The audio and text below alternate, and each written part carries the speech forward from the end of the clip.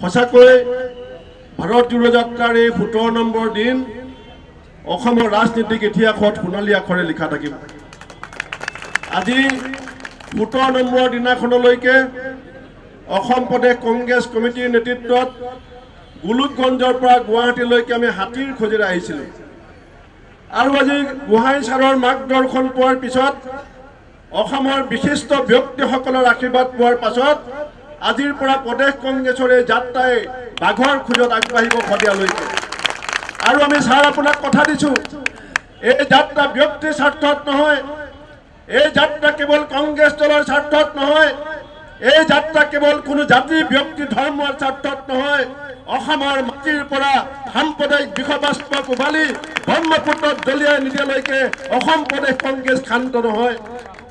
আৰু যি কথা আমাৰ নৱনীল বৰুৱা ডাঙৰীয়াই কৈছে যে আপোনালোকে টকাৰ লোভত বিক্ৰী নহ'ব বিক্ৰী হ'ব পাৰে কোনোবা।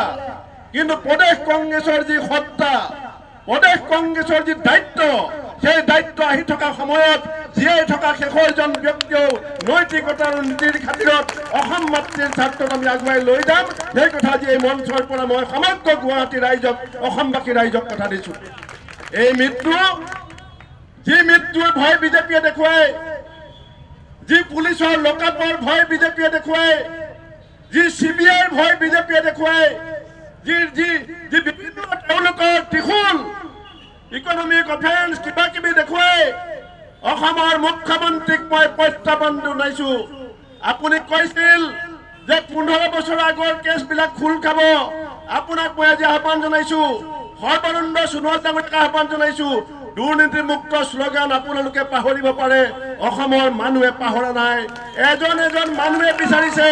পুৰণা দুৰ্নীতিৰ ফাইলবিলাক খোলক। আপোনালোকৰ চৰিত্ৰৰ প্ৰকৃত মুখাবিলাক আঁতৰাই প্ৰকৃত চৰিত্ৰবিলাক উন্মোচিত কৰক। লুইচ পাৰ্জাৰ সাৰদা কেলেংকাৰী ভূমি কেলেংকাৰী এই কথা অসমৰ মানুহে পাহৰিব নোৱাৰে। সঁচাকৈ ভাৰত জোড়ো যাত্ৰাৰ এই সোতৰ নম্বৰ দিন অসমৰ ৰাজনীতিক ইতিহাসত সোণালী আখৰে লিখা থাকিব।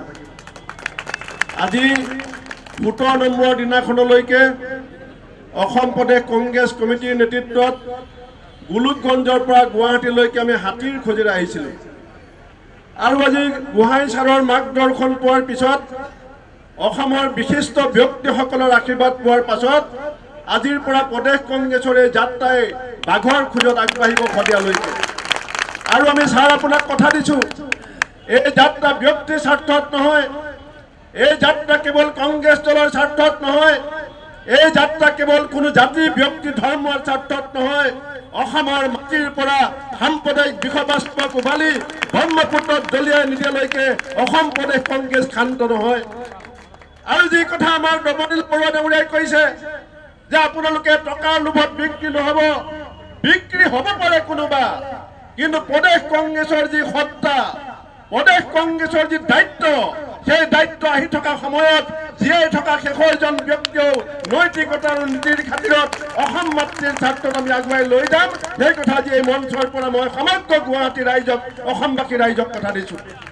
এই মৃত্যু যি মৃত্যুৰ ভয় বিজেপিয়ে দেখুৱাই যি পুলিচৰ লকআপৰ ভয় বিজেপিয়ে দেখুৱাই যি চি বি আইৰ ভয় বিজেপিয়ে দেখুৱাই যি যি যি বিভিন্ন তেওঁলোকৰ ত্ৰিশূল ইকনমিক অফেন্স কিবা কিবি দেখুৱাই অসমৰ মুখ্যমন্ত্ৰীক মই প্ৰত্যাহ্বান জনাইছো আপুনি কৈছিল যে পোন্ধৰ বছৰ আগৰ কেছবিলাক খোল খাব আপোনাক মই আজি আহ্বান জনাইছো সৰ্বানন্দ সোণোৱাল ডাঙৰীয়াক আহ্বান জনাইছো দুৰ্নীতিমুক্ত শ্লোগান আপোনালোকে পাহৰিব পাৰে অসমৰ মানুহে পাহৰা নাই এজন এজন মানুহে বিচাৰিছে পুৰণা দুৰ্নীতিৰ ফাইলবিলাক খোলক আপোনালোকৰ চৰিত্ৰৰ প্ৰকৃত মুখাবিলাক আঁতৰাই প্ৰকৃত চৰিত্ৰবিলাক উন্মোচিত কৰক।